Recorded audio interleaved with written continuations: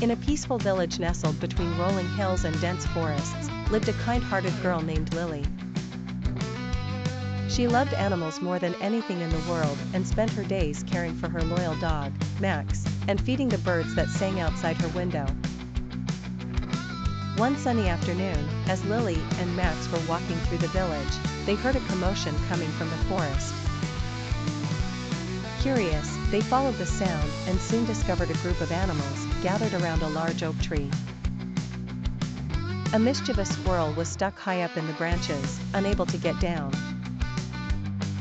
Lily knew she had to help.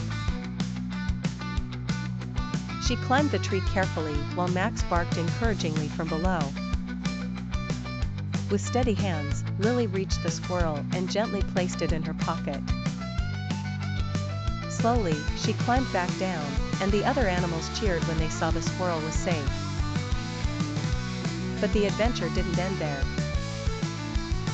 As they continued their walk, they stumbled upon more animals in need, an injured rabbit, a lost baby deer, and even a hedgehog tangled in a thorn bush. With Max by her side, Lily helped each one, using her gentle touch and a bit of clever thinking. By the time the sun began to set, Lily and Max had rescued five animals. They all returned to the village, where the grateful animals went their separate ways, returning to their homes in the forest.